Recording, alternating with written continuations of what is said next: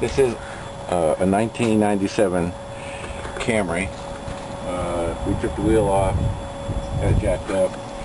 So the back brakes uh, are in trouble. We need to replace the, the pads.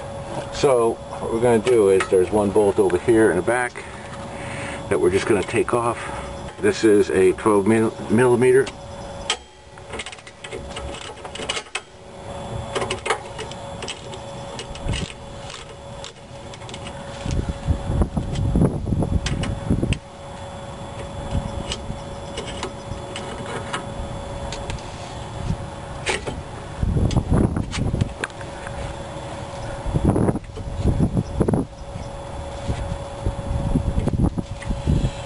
So it looks like we can just lift this out of the way.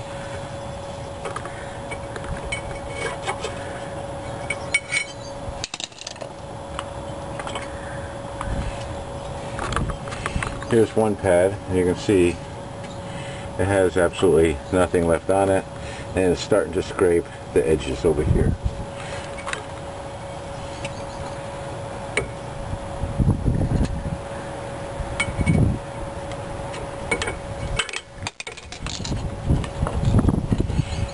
Second pad. It has the same problem, but it's not quite as bad. So it looks like it's totally wore out. Here's the basic engine is right over here. Off to the side is the uh, master cylinder and here is the reservoir so there's some room in here so I'm just going to put this cap on lightly because what I'm going to do is squeeze that cylinder and more fluid is going to come back up through here. So let's go squeeze that cylinder.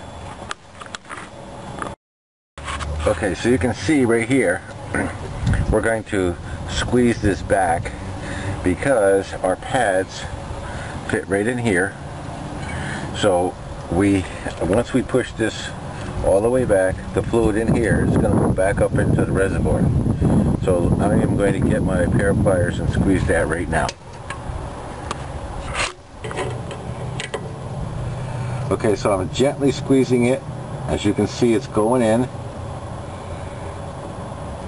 Nice and slow. You don't have to rush.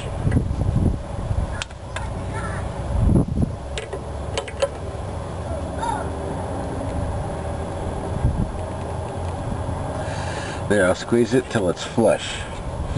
So now, when we bring this down, it'll clear the pads. So now let's go look at the pads first. If you look at the brake pads, here's the one we're going to put on. This is the one we took off. And you'll see that there is nothing here. It is totally wore out. In fact, you can see right here where it actually rubbed on the metal bracket and that is what touched the rotor and that was making it squeal but fortunately it didn't do it enough so we don't have any damage here at all so we're going to leave use the same rotors this first pad right here just slips right in position nothing to it okay the second one comes around from the other side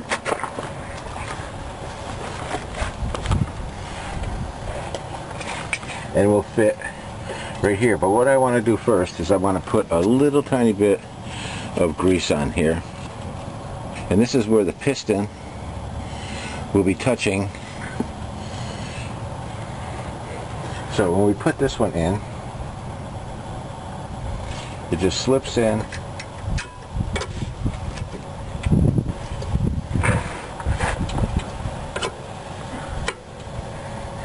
just like that. So now we tied off the top here just to keep it out of the way. And now just gently pull this all the way down. Can't get it to fit here. Just give it a little push and there it comes. Push it right back in place. Take the bolt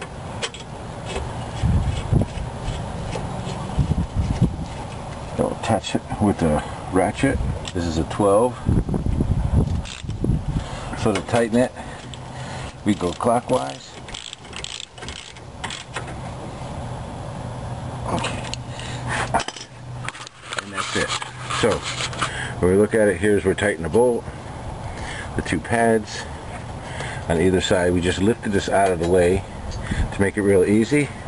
Okay, so now let's go look at the master cylinder at the reservoir and see how much fluid actually came up in there.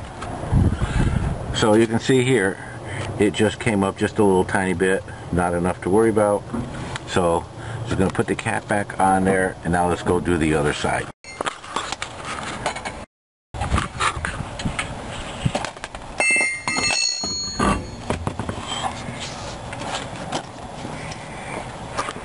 Okay, I was under the impression that this car had drum brakes on, but it actually has disc brakes. And you can see here, it's not wore out at all, but the pads are wore because the other side was wore out. So just looking at this, how simple this thing is. I mean, I thought the front ones were easy. One bolt right here. So we're going to take that off Okay, so what we're going to do is start taking these off. This is a uh, number 12. Just jerk. It'll just come right loose.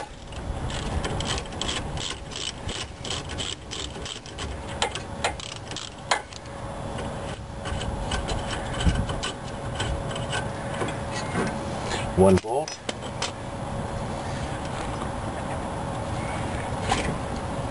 And just lifts right up. Okay, see it doesn't stay up here because the brake hose here is holding it down. So I'm just going to cheat. I just got to tie a piece of string on here. Put around the coil spring. And so I lift it out of the way so I can work on it with no trouble at all. So here is the piston. So what we'll do well, before we get to the piston, let's just take the brakes off. So here are the the pads. Look how simple this is. Whoa, now you know why this is squealing. There is nothing there. Maybe you've got a fingernail left. Let's see. See, and this side just pulls right off, just like that. And this is no better. I mean, this is getting the maximum light to your out of your brakes. But anyway, so what we're going to do is put new ones in. Okay, so the front side is not scored and you can feel that the back side is not scored. So this is, uh, I don't know, a couple thousand miles away from destroying the rotors. But anyway, what we're going to put on here is look at the difference. Look how much material is we're putting on versus what we're taking off. So we're putting on quite a bit here. All right, so now uh, we know we're going to we're going to put the brakes in, but we need to push the piston back because it needs more space here. So nice and carefully and nice and slow,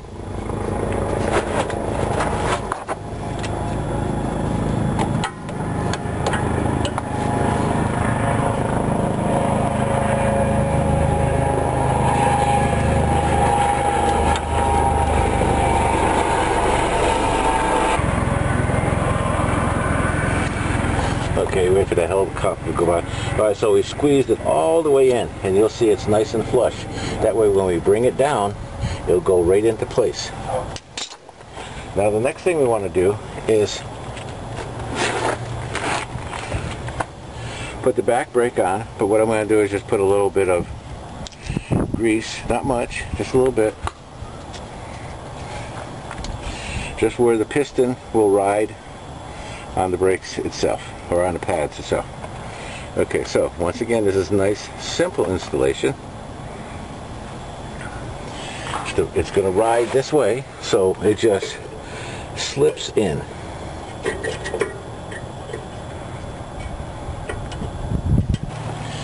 The other side is just as easy.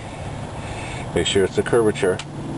It's going to go into that bracket, into that bracket.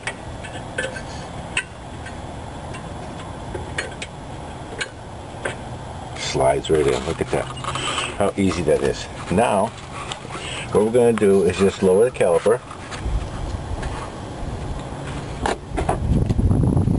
And the reason I had to have this because the hose is here and it's sort of spring loading it for me to keep it down but okay so here we come all the way down push this guy out of the way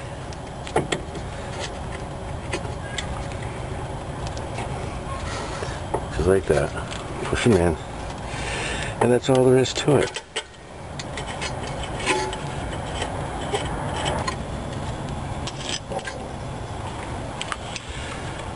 Okay, so we'll tighten it. Tighten it goes clockwise. And that's it. Okay, so let's just do a quick cap. All we have to do with these back brakes is take this one bolt off, flip this up, put, take out the two pads, squeeze the, uh, the cylinder back in, put the two pads in, put this back. This is even easier than the front.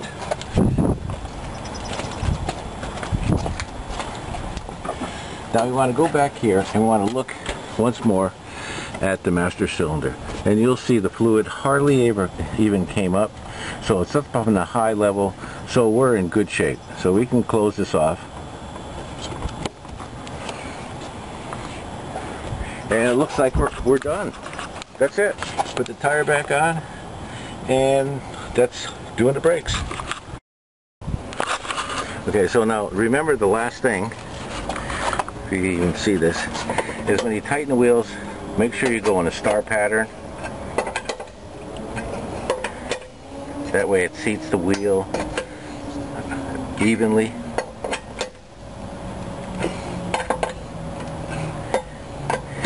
And I, I really like doing it by myself, putting the wheels on, tightening it up, because if you get it done in the shop, they use a air gun and they just zip them right on. And then if you ever have to take them off on the road, it gets really tough. But anyway, that is it.